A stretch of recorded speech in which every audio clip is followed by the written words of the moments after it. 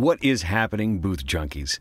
It's Mike again, and we're back in our car. And I just wanted to record another video showing how the car could be a sound booth and really just to evaluate if a car can be a sound booth if you're using a condenser microphone. So, in the last video, we used a dynamic microphone, and dynamics are great because you can get right up on them and they're not quite as sensitive to the environment.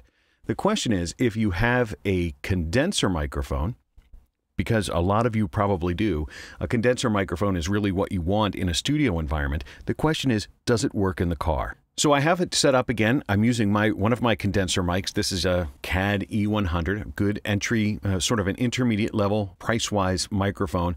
One, I, I love this microphone. I think it does great for my voice. But the question is, is with the windows, does it create a reverberation that these more sensitive condenser microphones will pick up. And so we're in here right now. And so, how does it sound to you?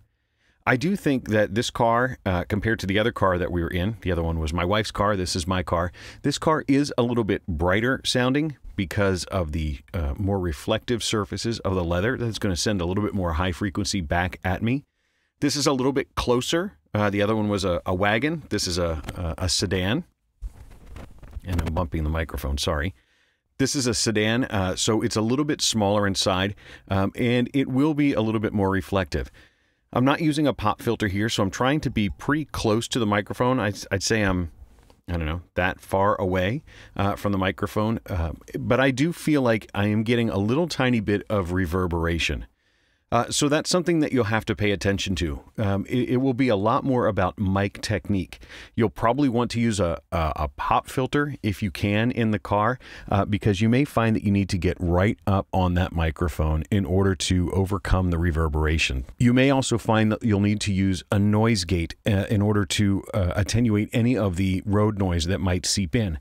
There are cars driving by right now. It's certainly possible that a little bit of automobile noise from the outside is going to leak in. So if you haven't watched my noise gate video, now would be a good time to check that out so that you can learn how to duck out that that unwanted noise during the quiet parts. So if I'm not talking and we hear road noise come in, then that's the part you want to duck out. Normally, with me talk, talking this close to the microphone, I'd be able to overcome that road noise because it is pretty quiet in here.